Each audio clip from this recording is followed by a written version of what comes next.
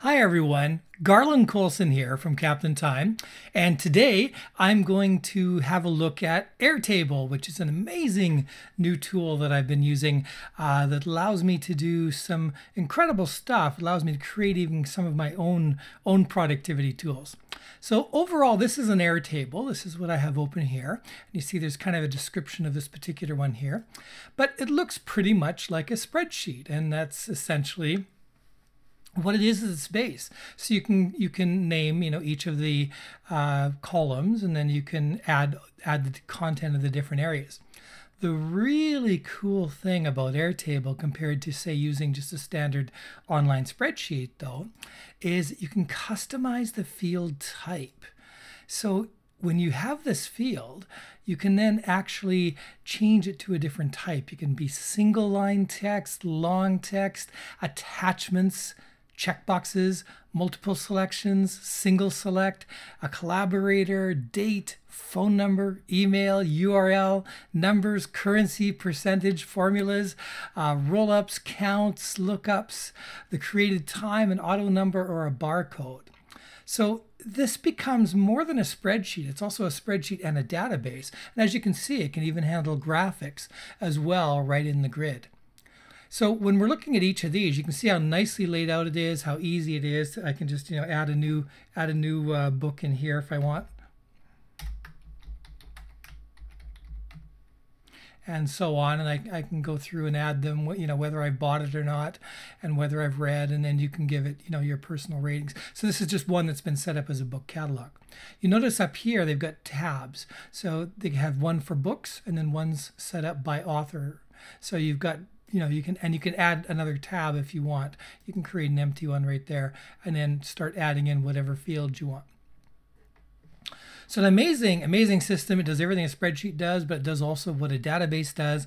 Now, there's some cool things about this too is you can share it. Uh, so you can share it to invite people by email or invite them by link. You can control what level, can they read only, edit only, or do you want to give them full creator access to co-create it with you? So very powerful, easy to create and easy to share. You can also embed this right into websites, uh, which is I find an incredibly powerful tool. I've got lots of plans for that feature, uh, let me tell you. So that's an example of one. Uh, here's an example of another one. This is a launch calendar. And these are, by the way, from templates that they already have. So you can see here in a launch calendar, they've got a little more detail, a little more information. And the grid can go across further as well.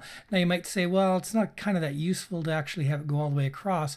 But one cool thing you can do with it is you just double click on here and it opens up the entire uh, thing that you're looking at so you can work in it this way as well. So you can see for each individual record, you can call it up. You can filter this. You can, um, by a number of different ways, you know, by any of the fields. You can sort it. Again, you know, from A to Z. You can do lookups. Uh, there's, as I say, an incredibly uh, powerful uh, tools with this. I like how when they, when you're choosing who's the market, you know, who's the lead on this, uh, they can color code the different options for you. And again, it's really easy to add another one. If I just want to add somebody to the marketing lead, I go customize field type, go, you know, and I can add Bob. And then I can choose a color for Bob. And there we go. And then Bob's also now an option. So if I want to give that to Bob instead, I can give that to Bob.